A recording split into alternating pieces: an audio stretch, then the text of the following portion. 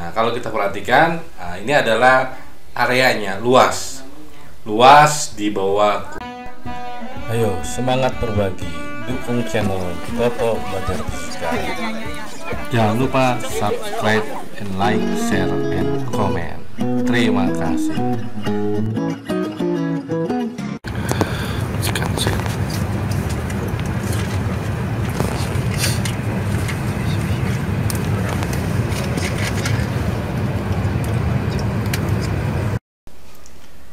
Bismillahirrahmanirrahim. Assalamualaikum warahmatullahi wabarakatuh. Salam sahabat fisika. Berjumpa lagi dengan Bapak Toto Suro Suprapto eh, Dalam channel Toto Sahabat Fisika. Jangan lupa untuk terus like, subscribe, share, and comment. Agar channel Toto Sahabat Fisika dapat terus berkembang Bermanfaat Oke, kali ini kita masih dalam bab elastisitas. Kita masuk ke subbab energi eh, dengan ilustrasi seperti pada tambah gambar berikut ini. Eh, kita lihat di sini. Nah, kalau kita lihat dari ilustrasi ini, gambar ini ada pegas kita beri beban, eh, pegas bergerak, ya kan ya. Tadinya diam, kemudian bergerak, di sini bisa kita lihat ada dua hal yang bisa kita amati yaitu yang namanya kelajuannya dan posisinya. Dari ilustrasi tadi kita bisa lihat bahwa ternyata ada dua hal yaitu pertama adalah kecepatannya atau kelajuannya dan posisinya. Kita bahas untuk yang kecepatannya kelajuannya. Berarti kalau kita berhubungan dengan kecepatan atau kelajuan, maka uh, ini identik dengan yang namanya energi kinetik. Oke, jadi ternyata ketika pegas itu bergerak, maka pegas punya yang namanya energi kinetik. Mana energi kinetik itu uh, dirumuskan EK sama dengan setengah masanya dikali V dikuadratkan. Nah, inilah energi kinetik untuk pegas. Kita lihat bagaimana energi potensial pegasnya. Oke, perhatikan ilustrasi berikut. Uh, ada sebuah pegas yang memiliki konstantanya 100 Newton per meter. Nah, ini pertambahan panjangnya. Nah, ini uh, konstantanya bisa kita bisa geser. Nah, cuman sekarang uh, kita melihat dulu ini yang namanya ada kurva energi potensialnya di mana ini pegas kita tarik nah, lihat pegas kita tarik sehingga dia berubah panjangnya terus berubah berubah nah, lihat.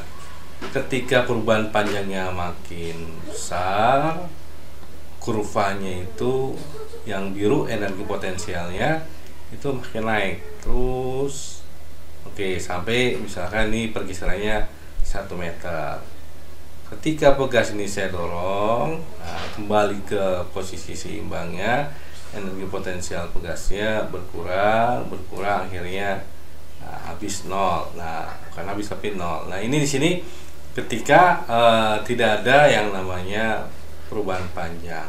Ini tadi pegasnya ditarik bagaimana kalau pegasnya ditekan? Oh ternyata kalau pegasnya ditekan sehingga mengakibatkan perubahan panjangnya itu bertambah pendek muncul pula yang namanya energi potensial. Sama di sini ternyata bisa kita lihat bahwa ketika pegas ini bertambah panjang atau bertambah pendek, ternyata energi potensialnya bertambah.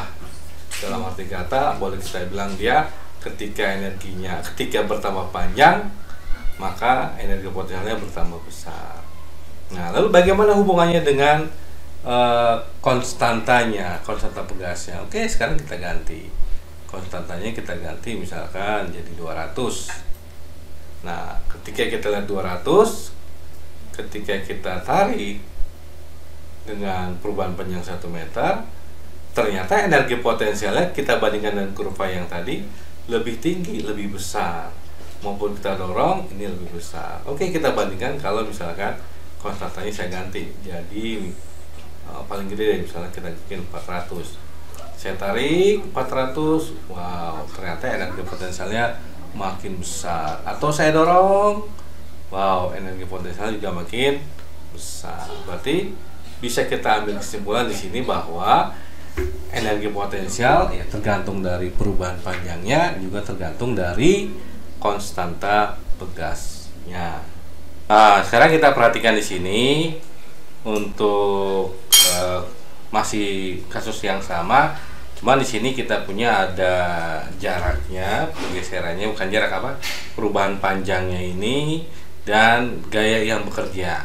Nah, ini ternyata ketika gaya yang bekerja ini kalau kita perhatikan di sini ini saya tarik e, dengan suatu gaya maka dia ada perubahan panjang.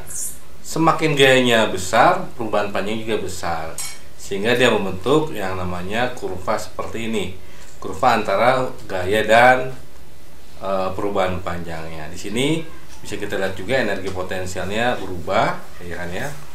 Sehingga ketika kita lihat di sini kita uh, tarik kemudian berubah panjang tarik panjangnya berubah nah energi potensial juga bertambah besar. Ini ketika kita tarik ini ketika kita dorong seperti ini.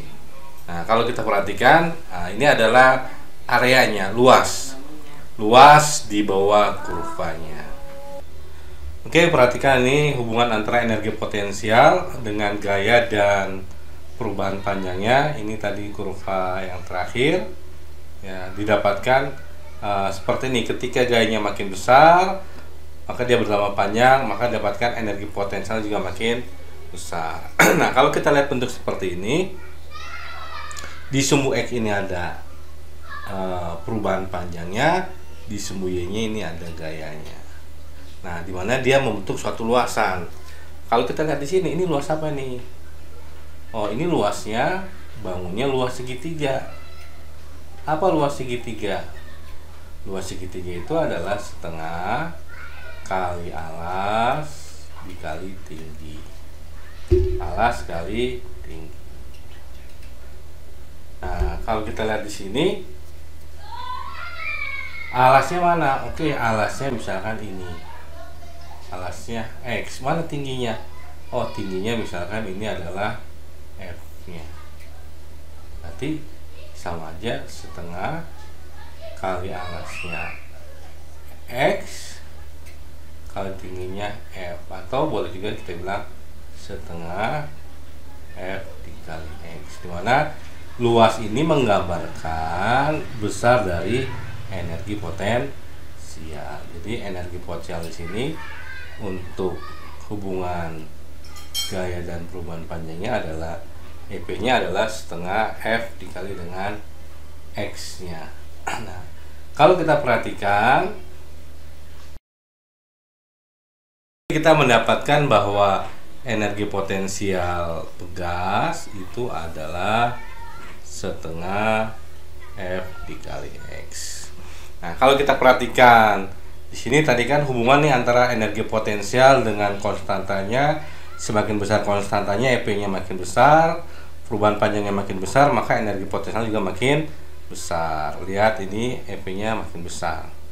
Ketika konstantanya ini tadi 100, sekarang 200, ini sekarang 300. Nah, ini adalah uh, ah, 400. Makin besar. Nah, Uh, ketika kita bicara pegas, gaya pegas, hukum hukum itu kan adalah K dikali delta X. Berarti kalau kita masukkan sini dapatlah EP itu adalah setengah K dikali X dikali X. X kali X namanya X kuadrat. Maka energi potensial pegas boleh kita rumuskan setengah K X kuadrat dengan catatan X itu adalah perubahan panjangnya. Jadi energi potensial pegas bisa dua bentuk, bisa setengah KE kuadrat, bisa juga setengah F X ya. Seperti ini. Oke, kita masuk ke latihan soal untuk energi potensial. Contoh satu untuk meregangkan sebuah pegas sejauh 5 cm. Nah, ini meregangkan pegas sejauh 5 cm. Boleh kita bilang ini X, delta X, delta L, L, Y atau delta Y. Oke. Maka dibutuhkan eh, gaya sebesar 20 Newton. Ini F-nya. Bilang aja ini X1, ini F1. Yang ditanya berapa energi potensial ketika dia merenggang sejauh 10 cm. X2-nya ditanya EP-nya. Oke. Nah, untuk amannya tadi untuk energi potensial kita punya dua bentuk yaitu eh, setengah KE kuadrat sama setengah FE kuadrat.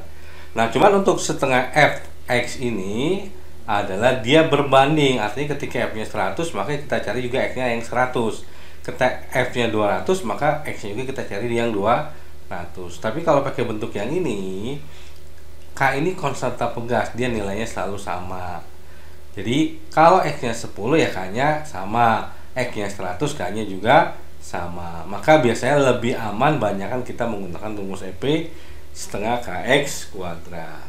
Maka untuk soal nomor satu ini boleh kita masukkan bahwa EP yang kita cari kita rumuskan dengan rumus setengah KX kuadrat. Karena ini X-nya X2, maka EP-nya juga 2, artinya kita harus cari K-nya dulu. Nah, kalau ada F ada X, maka F itu sama dengan K dikali X. Kalau X-nya 1, maka F-nya F1. Ingat harus dalam meter.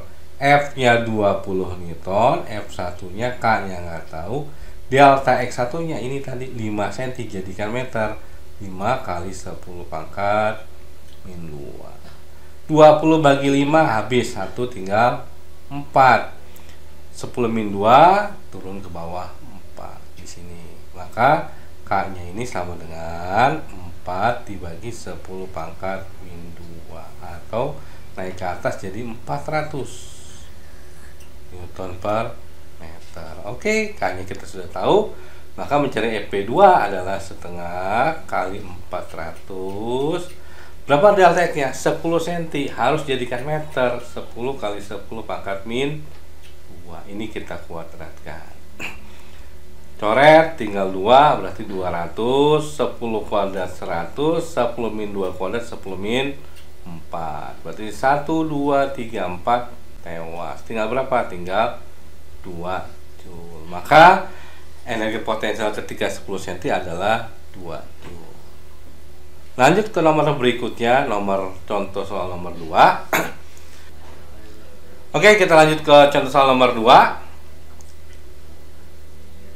So, pegas memerlukan usaha 75 Joule untuk melenggang sepanjang 5 cm. Jadi, ketika X1-nya ini 5 cm, boleh kita bilang gini kan, maka usaha itu atau energi potensialnya kita bilang ini nilainya 75 Joule. Nah, ketika X2-nya ini 3 cm, maka berapa energi potensialnya. Apa rumus EP?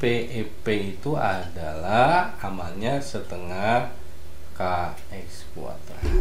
Berarti kalau saya masukin EP2 EP2 sama dengan setengah karena pegasnya sama bilang K X nya X2 X2 nya 3 cm 3 kali 10 min jangan lupa kuadrat Kemudian kalau kita mencari EP1, oh EP1 ternyata nilainya 75. 75 sama dengan setengah K dikali berapa? X besok 5 cm. 5 kali 10 jangan lupa kuadratnya.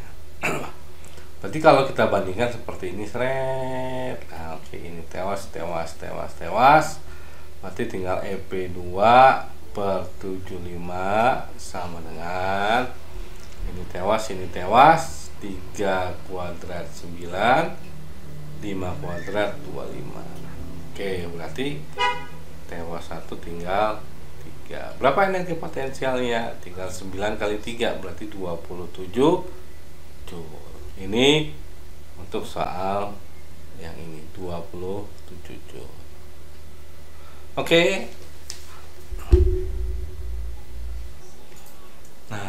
berikutnya ini ada beberapa latihan soal latihan soal satu dan latihan soal dua silahkan dicoba ya e, nanti silahkan jawabannya atau kalau tidak ada yang bisa bisa ke masuk ke komen dan bertanya oke terima kasih Sampai ketemu lagi dalam bab fluida.